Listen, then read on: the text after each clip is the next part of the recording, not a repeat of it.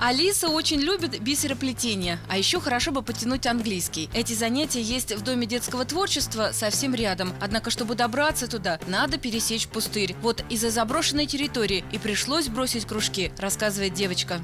Потому что тут дорога плохая, страшно ходить. И когда вечером а, я иду там, например, с кружка или с каких-то занятий, то тут очень легко запнуться. Ходить другой дорогой делает значительный крюк, рассказывает пятиклассница. Пустырь не освещен. В межсезонье здесь грязно и опасно, но альтернативы нет, рассказывают и жители близлежащих многоэтажек.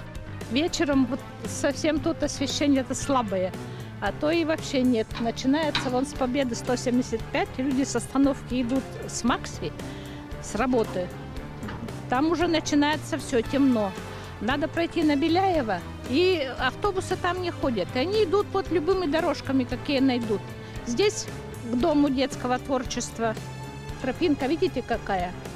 Бугорки, ямки, камушки. Все, что хочешь, может произойти. Этот пустырь, вот он тут вообще небезопасен. Там тоже дорожка.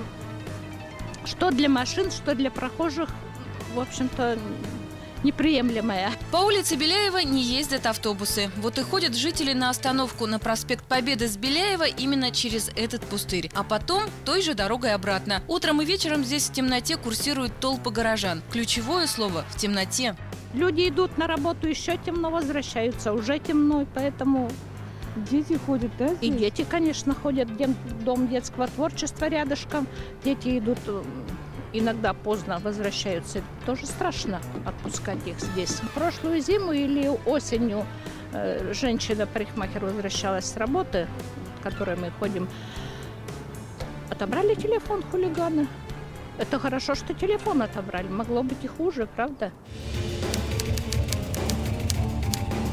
Пустырь между проспектом Победы и улицей Беляева не единственное место в городе, где люди жалуются на темноту. Так, на улице Ленина нет ни одного фонаря почти на десяток домов. Жители боятся оставлять в темноте машины, до подъездов добираются с карманными фонариками.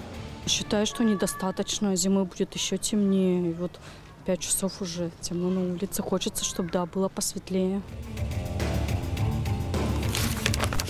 Кто должен заниматься освещением города? Вечер, улица, детский сад номер 45. Практически кромешная тьма вокруг. В таких условиях воспитанники и их родители вынуждены ходить ежедневно. Фонарь на здании сада – единственная путеводная звезда. Светлана Клюквина живет в этом дворе уже пять лет. Говорит, что не помнит, было ли когда-нибудь лучше. Темнотища. Вечером гуляем с собакой. И утром очень рано гуляем с собакой. Точно такая же темнота вот в нашем дворе и вот в ближайшем районе.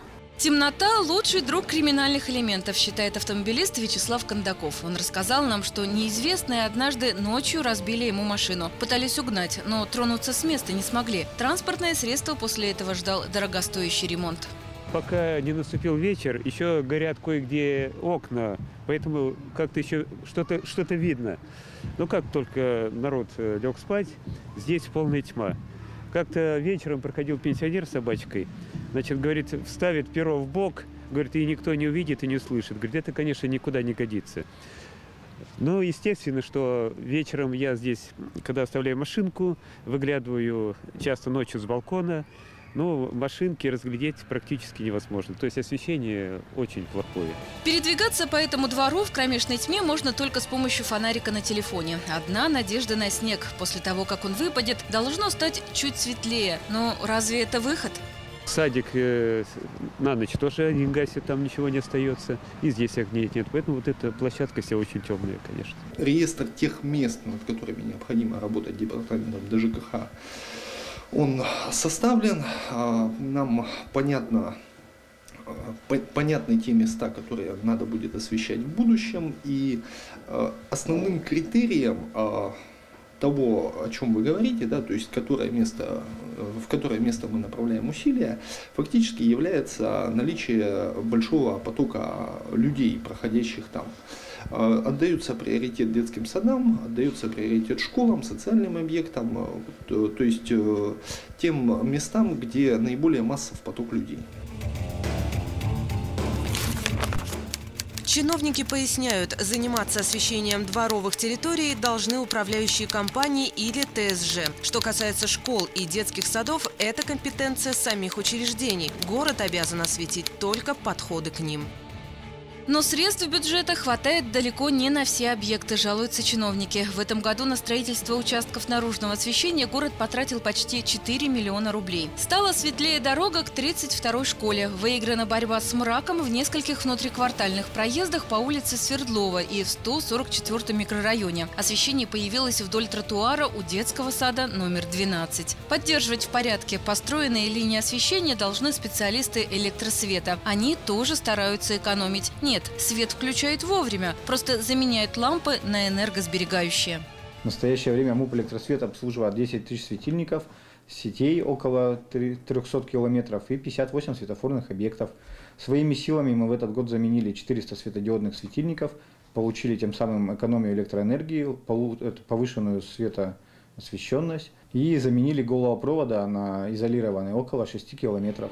Темные участки города продолжат освещать и в следующем году, в том числе за счет средств проекта «Народный бюджет ТОС». Так светлее станет у 41-й школы, у 17-й школы, 109-го детского сада.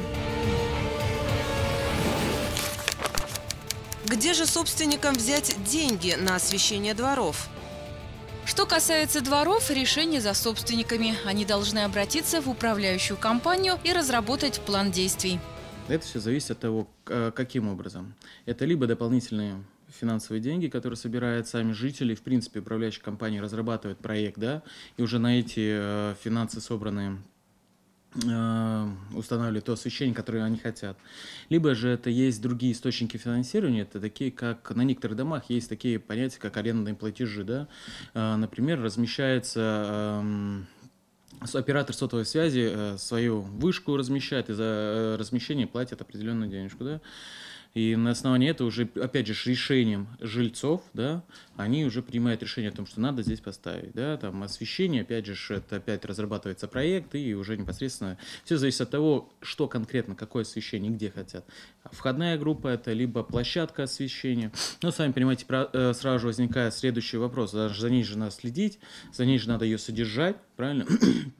перегоревшую лампочку менять, потом на кого пойдет э, затраты на освещение, это тоже, тоже ляжет на общедомовые нужды. Это тоже опять нужно смотреть, это все от этого зависит. Либо обговорить непосредственно с управляющей компанией, что она, например, собирает там под, э, с площади там 2-3 рубля, условно говоря, да, такая называемая инвест-составляющая, надбавка на инвест-составляющую.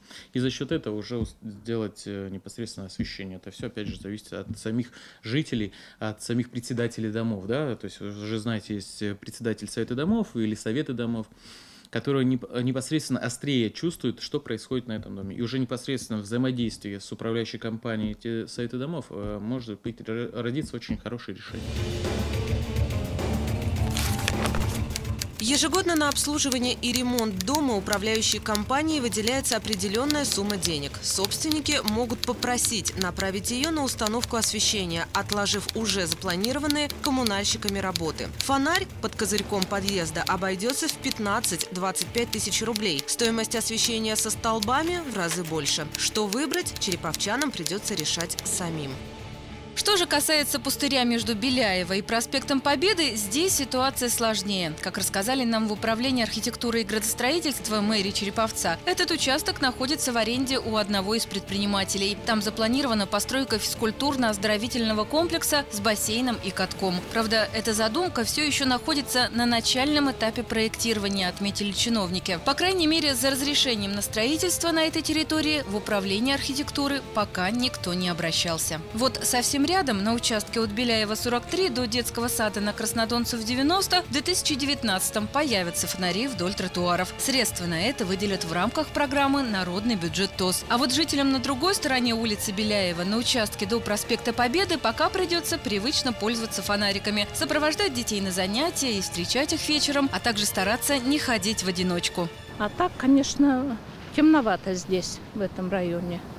Да и вообще Сколько людей возвращается вот с остановки с Макси, идут на Беляева с работы. Угу. Темно.